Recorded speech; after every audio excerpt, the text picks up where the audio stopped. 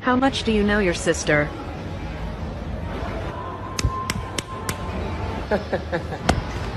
Quiet!